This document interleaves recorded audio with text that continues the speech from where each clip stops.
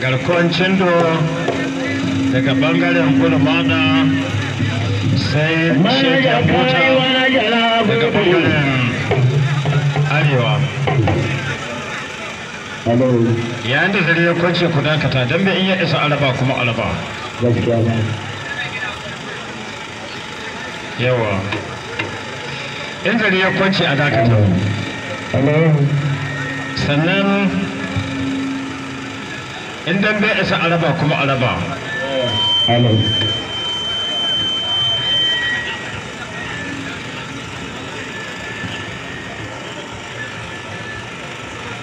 alo shegiyar mota.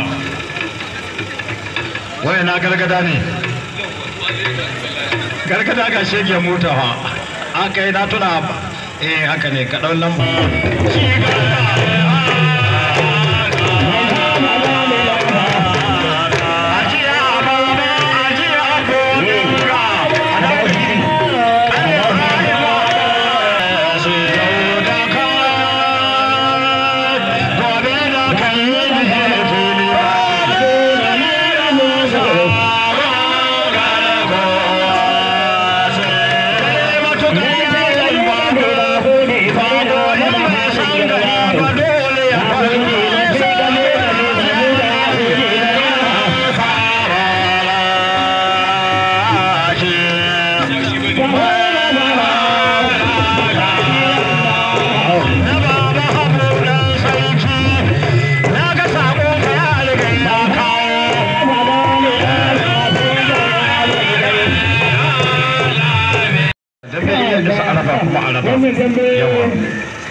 Wannan dambe ga arewa.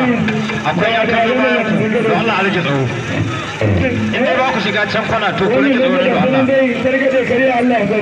ga yan kallon ku nan bayan ku. Allah a daɗe ba hito ba kuma na baba hagu ɗan sarki siniya na ali zama ɗan yabo guga ta ba da ruwa rijiya ta ba da ruwa guga ta ƙi kaiwa to ga dambe nan duk sunan ofisa na ƙauran katsina na gamban surajo mai ashara mai baba baban baba zaure mijin gida dole ne a ce ma mijin iya baba ko dan akwai ta ƙaura kowa da gwaninsa a duniya kowa da kiran da aure kana magana kwandari da sarki da kwa alasan kenan dan musa. Masar ojo ko barka da zuwa. Wani ya noma dan biri kuma biri ya yi shi abinci wallahi allah. To da wani ɗaya ga dambe nan wa?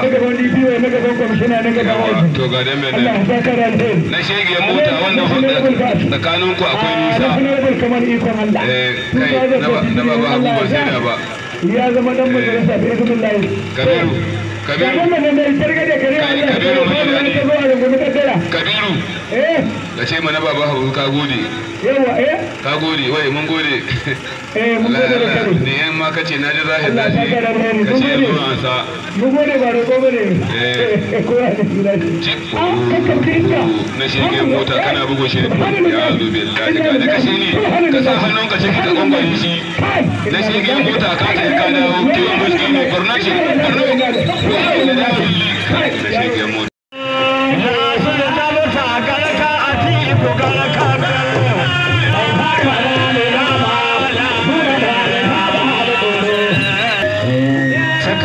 Kenan da wannan ya gama.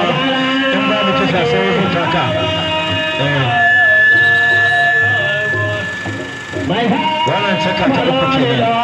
ba ta kaya ba. Kana kai ga bakin